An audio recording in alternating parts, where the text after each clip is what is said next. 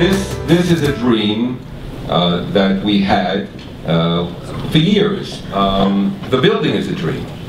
And I, I just would like to let people know, those of you who've, who've helped us over the years, that it's not just a building. It, it, it's, it's operative. It's full. Uh, I often say that, you know, uh, you can build it, uh, but then you have to have content, right? And, uh, and that the difference between the Tower of Babel, uh, with its own um, gateway to the gods, and, and Jacob's dream of a gateway to the gods is that the builders of the Tower of Babel built the tower and they thought they had it. And Jacob dreamt. And when you dream, you know that you're never there. We're never there. There's still much more work to be done. So you're part of a process that's really moving us toward our goal. How, how did this all begin? The Jewish uh, Community Federation uh, did a feasibility study in 1990, uh, and the result of the feasibility study was that the community of Los Angeles was not prepared to fund the Hillel at a building in, in, in Westwood. It was very expensive. So a few years later, when there was a new president of Hillel, we had a visit from Edgar Bronfman, and I want to mention Edgar Bronfman, Zichrono Levracha, blessed memory. He was the major force that allowed us to fulfill our wishes and our dream. He came here when we were in our old building. We have some alumni who remember the, uh, our, our, our, presence at the religious conference. And he came into the building and he said, you're in a basement. How could that be? And then we had a dinner for him that night and he said, we got to get a new building. And I sort of smiled and I thought, well, maybe.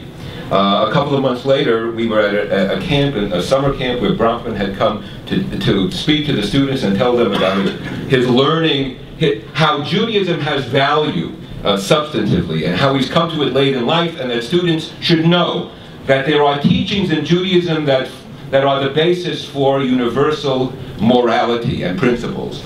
Um, and in the process, he pulled me aside and he said, you know, my friend Wasserman wanted to do something in my honor. I told him, not in my honor. We'll do something together. a few months later, I was finishing teaching a class, and I called the office. It was 5 in the afternoon. I was on campus. Uh, and uh, the, uh, the receptionist said to me, the chancellor called. He said it was urgent. Call him back. So I called the chancellor, it was Chuck Young, and he says to me, Chaim, are you still at the URC? I said, yes. He said, would you like your own building? what would you say? I, I, I laughed. You know, so he, he, said, well, someone came to my office this morning and wants to give Hillel a building. I said, yeah, yeah, Do you want to know who it was? I said, yes. He said, well, Lew Wasserman came to my office this morning. Um, and he asked me to tell you that he, Lew Wasserman, and Edgar Bronfman are each contributing a million dollars towards a Hillel building. Then the chancellor said to me, what happened? What was this all about? so I said to him, you remember when I, I called you that Bronfman was visiting campus, you weren't here, etc., etc. He said, you know, we can't give you any money. We're a state university. But we have a real estate office, and we can help you if you have a building in mind. Well, Ed Kaminer, Alav HaShalom, had seen this building. He knew that it wasn't being used.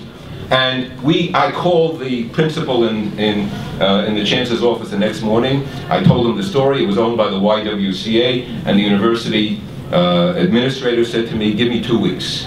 Two weeks later, I called him, and he said, they'll sell. And that's the beginning of this story. And, the, and because Bronfman and Wasserman gave the, the lead gift, they decided in those years, it was 1996, to name the building in memory Yitzhak Rabin. Today, we actually have to bear in mind that another Israeli prime minister has passed away, Ariel Sharon.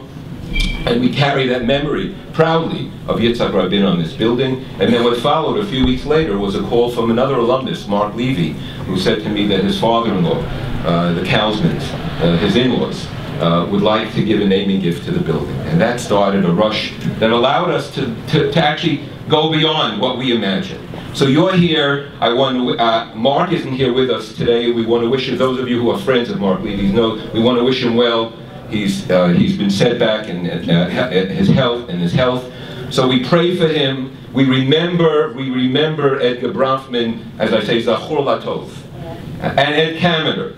These are people who gave of themselves and of their support to make this Hillel possible.